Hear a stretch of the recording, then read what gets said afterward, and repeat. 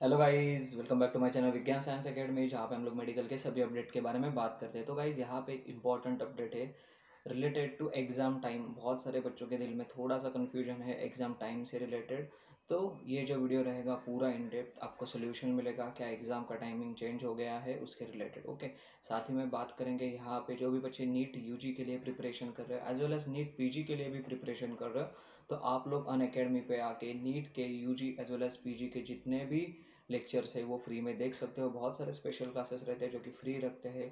साथ ही में Unacademy का, Unacademy comeback scholarship test भी होता है, जो कि एवरी संडे होता है एट इलेवन एम जहाँ पे आप पाँच करोड़ तक का स्कॉलरशिप जीत सकते हो। सपोज़ अभी आप जो मेडिकल स्टूडेंट हो, उनके कोई भाई बहन या अदर कोई फ्रेंड्स है, आप उनको ज़रूर रेफ़र कर सकते हो to join Unacademy and solve that combat test उससे क्या होगा ऑल इंडिया रैंकिंग उनका जो है प्रिडिक्शन कर सकते हैं।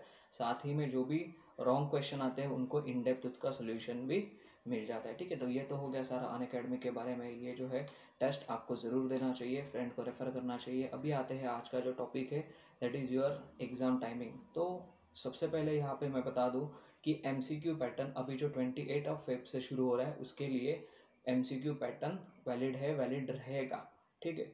बीच में भी स्टूडेंट को ऐसा भी लग रहा है कि एमसीक्यू ये साल नहीं है अगले साल वाले पैटर्न में तो ऐसा कुछ नहीं है। पहली चीज़ एमसीक्यू है एमसीक्यू आपको करने हैं। दूसरी चीज़ बच्चों को ये डाउट है कि ओ एम आर शीट जैसे आपको नीट के एग्ज़ाम में एक ओ एम आर शीट मिला था सर्कल सर्कल करने का, क्या वो ओ एम आर शीट आपको दिया जाएगा? तो आंसर है नहीं, ऐसा कोई भी एम एच एस की तरफ़ से आया नहीं कि आपको ओ एम आर शीट दिया जाएगा। आपको जस्ट आंसर लिखना है। आंसर कैसे लिखना है बच्चों को? एम सी क्यू कैसे लिखना है वो भी नहीं आता अभी तक। तो आंसर में किसी ने मुझे इंस्टाग्राम पे ये भी पूछा था कि क्या सिर्फ़ ऑप्शन लिखता, लिखना है या फिर ऑप्शन के साथ आंसर लिखना है? तो हम लोग टेंथ इलेवन ट्वेल्थ से करते आ रहे हैं। अगर आपका ऑप्शन है ए ब्रेन तो आपको पूरा का पूरा लिखना है ए और उसका जो ऑप्शन है ब्रेन वो पूरा का पूरा ऐसे आपको लिखना है। ठीक है? अदरवाइज़ सिर्फ़ आप ए लिखोगे मार्क्स जाएगा। सिर्फ़ आप आंसर लिखोगे मार्क्स जाएगा। तो आपको लिखना है ऑप्शन एंड ऑप्शन के साथ आंसर ठीक है? दूसरी चीज़ ट्वेंटी मार्क के जो एमसीक्यू है, उसके लिए आपको ट्वेंटी मिनट एक्स्ट्रा दिए जाएँगे, ऐसा बीच बीच में बोला जा रहा था।